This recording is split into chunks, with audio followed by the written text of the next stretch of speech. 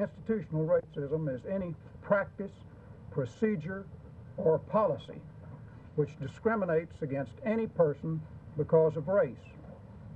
Now, this is different from racial prejudice in an individual. I, as an individual, might be free of racial prejudice and yet still be involved in practices which are a part of institutional racism.